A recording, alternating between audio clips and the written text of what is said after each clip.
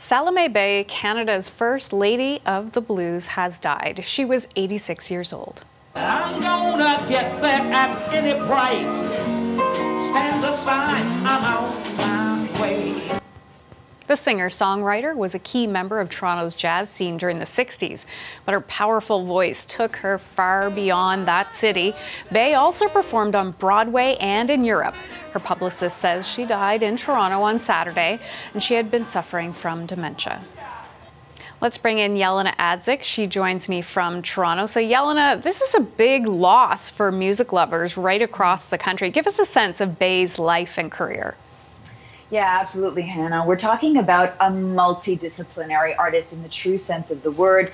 She really had incredible strides made both in music but also on the stage. I'm going to give you a look at some of the, the images that we have of her as I tell you a little bit more about her career because this is a woman who was born in the States, but she made her first appearance in Toronto in 1961. And she settled there in about the 64, and she was playing the jazz club circuit. She ended up earning that title, that moniker you said, Canada's First Lady of the Blues for her incredible performances. But at one point, she also toured throughout Europe and the United States with her brother and her sister. They were known as the vocal group Andy and the Bey Sisters. Now, something that's really important is that here at home in Canada, there were so many accolades for work that she did on the stage. She got a Grammy nomination for her work with the cast album on Broadway. It was called Your Arms Too Short to Box with God. She also garnered two Dora Awards and uh, this is a woman who ended up helping in various ways, launching the careers, or at least really helping them out for many Black Canadian artists, such as Deborah Cox, for example, Divine Brown. Really a beautiful, booming voice that many are remembering today. Have a listen. I gave birth to a nation of a whole, trembling in fear of the lynching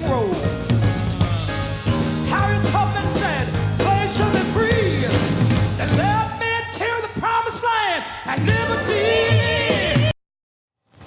Mm, you can just get goosebumps from that, Hannah. And just as a side note, but an important note, her husband, many people might be familiar with Howard Berkeley Matthews. Now, he passed away a while ago, but he was known for creating a restaurant in uh, Toronto's East End, and it was called the Underground Railroad. And this was really, uh, became famous for helping to support, to promote, all kinds of uh, artists and musicians within the Black community. So just really a huge voice for equality. In, around the around the world, really. Yeah, and we know Bey's family was important to her. She talked about them a lot. Can you share some of those stories? Yeah, so she's survived by uh, her children. Uh, she had daughters as well as a son, and they went on to uh, become, you know, musicians in their own right. I'm going to give you a listen right now to Bey in her own words talking about one of her daughters, and uh, her name is Jacinta Tuku. Now, she talked about the fact that one day Tuku was telling her about her sadness and her dismay over the state of relations when it came to uh, the Black community in uh, Canada, but also around the world. And I'm going to give you a listen now to how she processed her own songwriting and helped her daughters do the same. I started writing music to some of the things she would say because I'd ask her to write it down. Write down what you're feeling, you know.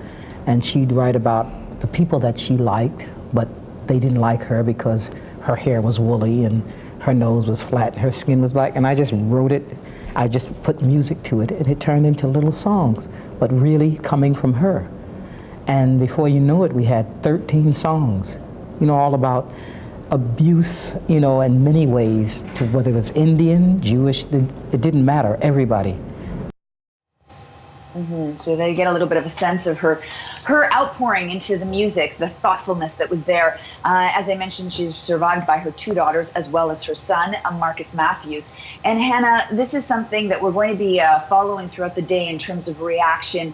Uh, lots of musicians around Canada sharing their thoughts, so I will share them with you as well. Thanks, Jelena. Always appreciate it. CBC's Jelena Adzic in Toronto.